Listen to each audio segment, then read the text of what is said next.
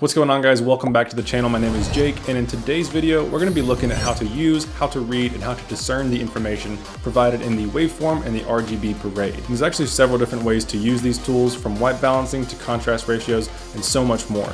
Also, if you want to make your projects look and feel big budget, then I put together a live one hour free webinar that's taking place next Monday on November 8th at 11 a.m. Pacific time. Plus, by signing up, you will be automatically entered to win my freelance colorist masterclass. I will be picking three winners at the end of the training. So click the link below to join and I will see you in the live training. Now you guys know what to do. If you're enjoying the content here, please be sure to smash that like button, subscribe to the channel for more awesome content. Be sure to hit that bell notification to get notified of every upload. And don't forget to follow us on Instagram for all kinds of updates and behind the scenes content. And with that, let's roll the intro.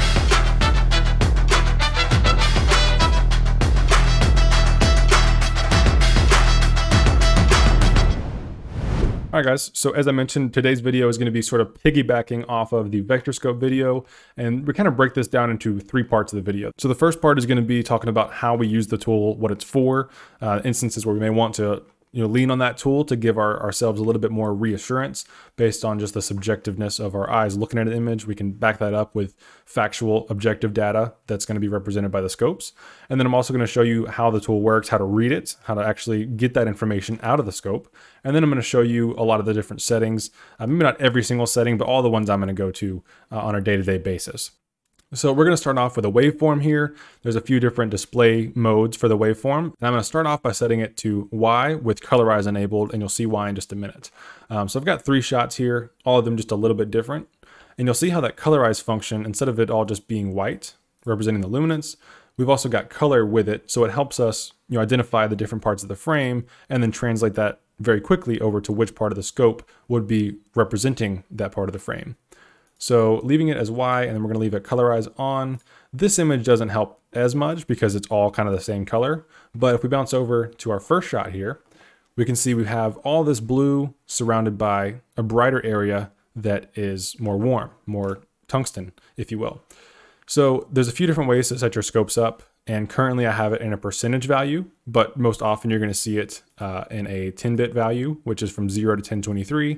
That's obviously all the bits in 10-bit video. And that's obviously a perfectly fine way to read it. That's usually how I have mine set up. But for the sake of this video, since we're just going to be looking at brightness, I'm actually going to switch it over uh, to percentage because it's going to help us explain things with a little bit more ease. So the waveform or RGB parade, whichever one you're looking at, in either case, it is a one-to-one -one representation of the luminance of your image from the left side of the screen to the right side of the screen. So looking at this shot here, I'm going to go ahead and use this to demonstrate what the scope is doing and then what I would use it for. So we've got this skyline here, and I have my display qualifier focus enabled, which is going to translate uh, the point that I'm hovering over in the frame to that point in the actual waveform. Again, this information is being read left to right. So the leftmost part of the frame moving along to the right part of the frame. And then the only thing that determines how high an element of the trace is, is the brightness of that, that part of the frame. So here, the brightness of the skyline is going from the darkest point right around you know 25 to 30 percent uh, luminance all the way up to right around 55 percent luminance. And then we see the shadows here. They're lower not because they're lower in the frame they're only lower because they're not as bright. They're darker parts of the frame. Uh, so over here probably gets all the way down to right around seven nits maybe. And then it brightens up. Obviously we cross over from this reflection of a shadow to a reflection of the sky. And that's where we kind of make that jump between these two levels here so we're going from right around 10 to 12% brightness here up to right around 15 to 18%. And then now we also have this warmer and brighter part of the frame here. Just scrub through. And you see like this part where she just kind of breathed onto the window. Uh, you'll see as she exhales, we start to see a brighter part of that trace be developed. See right here, we don't have a, a very bright spot because we're looking straight through that glass and we're just seeing the background, not a whole lot happening. And then as she exhales, now the light hits that, that frost that's forming there, not necessarily frost, but you get the point, um, on the window. And so we start to see that become brighter. As she exhales, that trace goes up, it gets brighter. And then to demonstrate this one more way, what I'm gonna do is we're gonna have this node prior, one node under our color space transform, because this is just Blackmagic footage, and this node is just taking it from Blackmagic to Rec 709. So in this node here, I'm going to make a circular power window. We're going to turn off that feathering. You'll see why in a second. I'm going to cover this up. We're going to go to our curves and then make that pure black. Nothing's coming through. And we're going to invert this. So now you'll see wherever we move this sort of spotlight effect, uh, that's kind of what we're getting in the trace as well. So we're getting the sky here. We're looking at the sky. As we move this down though, the information we're examining is changing. So this is kind of how you want to read the scope almost uh, mentally. You want to block out the information you don't need and say, how bright is the inside? I'm going to analyze that part of the waveform there. And then how bright is the outside, or how dark rather. And this colorize function of the waveform's trace, when you have it set to luminance, that helps us more quickly identify which part of the frame we're looking at, which part of the frame we're analyzing. Again, here it is set to off, so don't have colorize enabled. And now it's a little bit more difficult to pinpoint which part of the frame is which. Um, so that's super handy. One little trick for you. Uh, I always keep that one enabled, keep that as an option there. Uh, now we're gonna go over to RGB. And what we're looking at here is the red, green, and blue channels all stacked on top of each other. And again, it's all the same information, just different ways to display it. But to help demonstrate how to read this one, we're actually going to hop over to the parade. And now we have our YRGB parade. So this is kind of a combination of all those. Uh, we have the luminance of the image here, and then the red channel, the green channel, and the blue channel.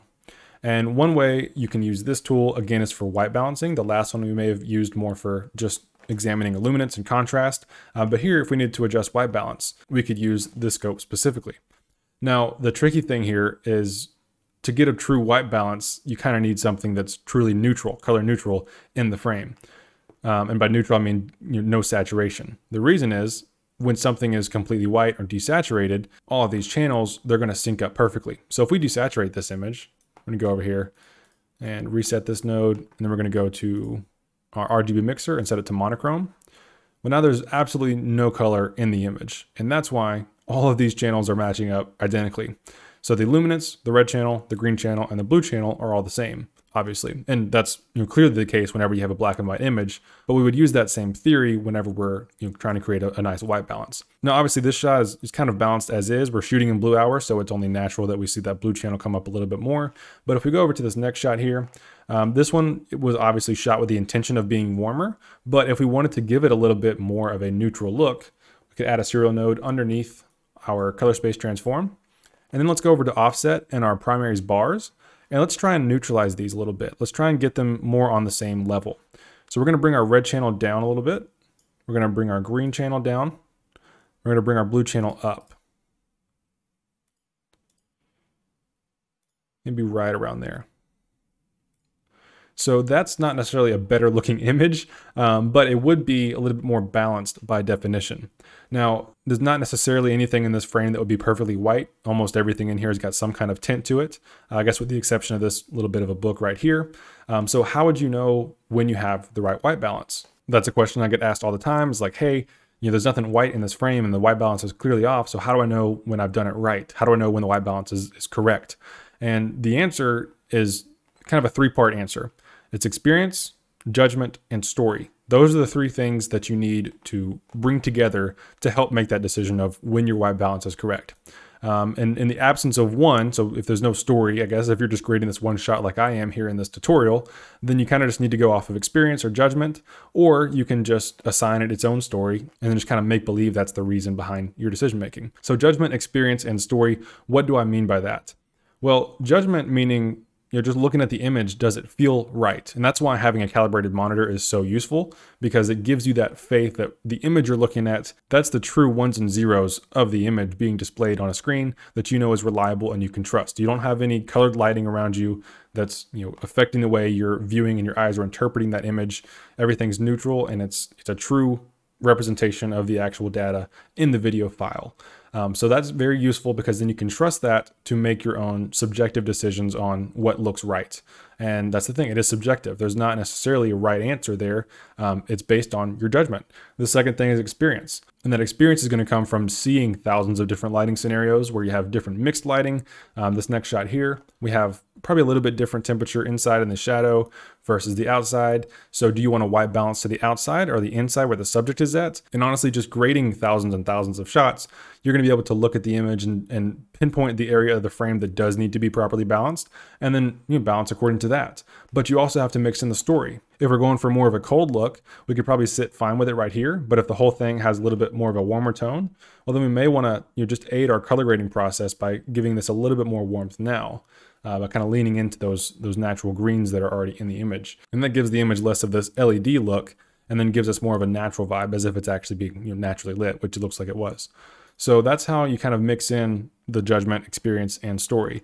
Um, judgment, actually trusting your monitor and your eyes and, and, knowing that what you're looking at looks good and looks neutral, or at least balanced according to the surrounding pieces uh, of that that video and then experience just by seeing thousands and thousands of shots and knowing you know what inputs you need to make and and how you need to make them to make sure that shot looks as neutral and natural as it can. Um, and then lastly story. How are you going to use the the story of the piece you're working on to help make decisions on should you make this shot neutral or should you let that super blue cast live is that what the director of photography had in mind when he was shooting this piece all right, so now that I've gone off on that tangent, we'll go ahead and bounce back in uh, to the scopes here. More just looking at the waveform. As I said, this is the RGB parade, but all stacked on top of each other. So if we look at the parade, we'll just turn on the RGB and then bounce it back to the waveform. It's the same thing. We're just taking all three of these channels and then stacking them onto one.